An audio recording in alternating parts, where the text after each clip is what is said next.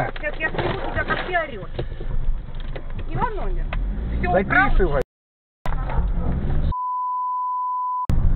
Из Нижнего Тагила. Вот на таких высоченных тонах закончилась изначально милая беседа между водителем такси и его пассажиркой о котиках. Казалось бы, милейшее создание, как можно было на такой почве разодраться? А как?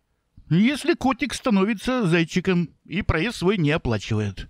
То ли жадноватая, то ли просто плохо разбирающаяся в таксомоторных нюансах тетушка решила своего животного компаньона провести в такси инкогнито, не афишируя, не указав во время заказа такси, что он с ней поедет. За это же надо доплачивать. Получился даже не кот в мешке, то есть в сумке, заметьте, не в переноске, а натуральный кот какого-то гера. Шредингера. То есть кот, он как бы не едет с нами, если судить по заявке. А если за ним начать наблюдать, то он с нами. Такая вот квантовая механика. То есть он сейчас с нами, что ли? А вы знаете, что это дополнительная услуга? Нет, не знаем. Будете знать. Будете знать. На этой стадии, обратите внимание, таксист все еще в благодушном настроении. Несмотря на то, что пассажирка нарушила правила, действующие у этого перевозчика, он все еще вполне лоялен и не собирается предпринимать никаких репрессивных мер пресечения. Прямо говорит, что на этот раз довезет. Как есть, и даже не ведет речь о том, что надо бы доплатить. Просто говорит, в следующий раз будьте внимательнее. И если бы тетушка со своим зайцем просто сказала «хорошо, учту», они бы скучно, благополучно добрались с ним до места, но нет. Клиентка включила режим сжигания мостов. Когда такси заказываете, дополнительно Ничего включаете, подобного даже и просить не буду. Никто не против, а он место отдельное не занимает. занимает.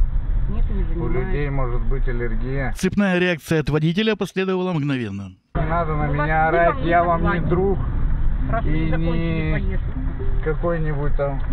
Молодой уже пальцы веером. Давайте, Давайте, вперед, открывайте.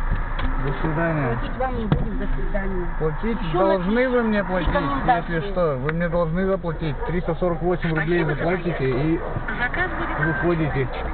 Пожалуйста. 348 рублей сумочка остается здесь. В итоге денег своих таксист такс и не получил, а в заложниках у него остался пассажиркин пакет с продуктами, который он увез с собой, но во избежание обвинений в грабеже поступил с ним как с забытой пассажиром вещью. Цитата от извозчика по порталу Е1. Получается, меня кинули и не заплатили, после чего я забрал у них пакет с продуктами. Из ценностей там был только старый тонометр. Пусть теперь забирает в полиции. Думаю, будет уроком на будущее, что платные опции не просто так придуманы в такси, и за них нужно платить. Конец цитаты.